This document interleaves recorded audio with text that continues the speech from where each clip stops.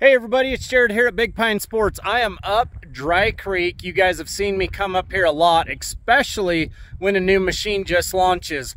I am actually up here with one of my good customers who kidnapped me from Big Pine today. I'm probably going to get fired when I get back, but sometimes you got to do what you got to do for customer relations, right? So, what is Keith in? You've actually seen him on video before. Let me switch it around.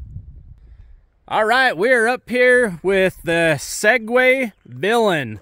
Keith, you've owned a ton of side-by-sides.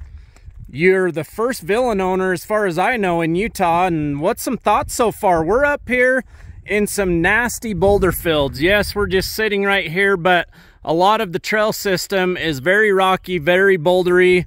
How did it do? Well, this is a 2024 Segway Villain. It is one of the best I've had, and I've had about one of everything.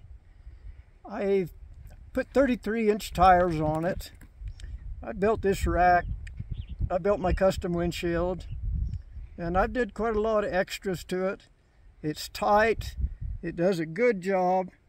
It's a good machine. So you knew when you bought the Villain from us, we were the first Segway dealer in Utah. Uh, you had a good part in helping us get that done. You knew there wouldn't be a lot of accessories out there. So give us a little sneak peek on your creativity and what you built for the machine. Okay, first, I watched a lot of videos on this on YouTube. Everything looked positive to me. And yeah, I built this rear piece in here, built cargo rack, and I built mirrors and this handholds, windshield,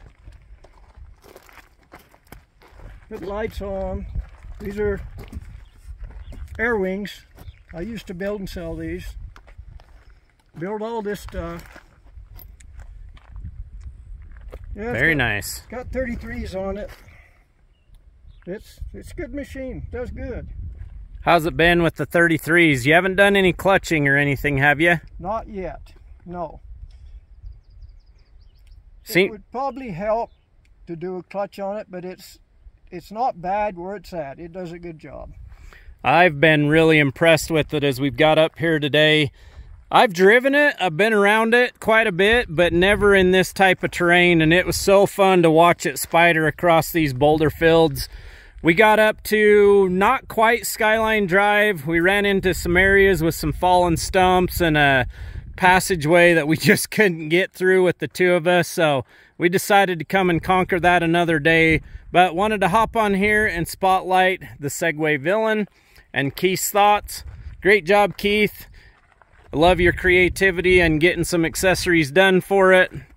The lower doors, which company were the lower doors? Three star. Three star industrial. yeah. Three star. So if you're uh, somebody at three star, be sure and post up and you can see your product on our machines out here in Utah. 435-427-3338. Give us a call, shoot us a text. Check us out on the web at bigpinesports.com. I think we got to go, Keith. I'm going to get fired. Any last thoughts? You gotta have fun once in a while. you gotta have fun once in a while. These lower doors that I put on, I can see through them and I can see rocks, and that helps quite a lot. Nice. I like them. Fabulous. All right, well, we're gonna hit the trail.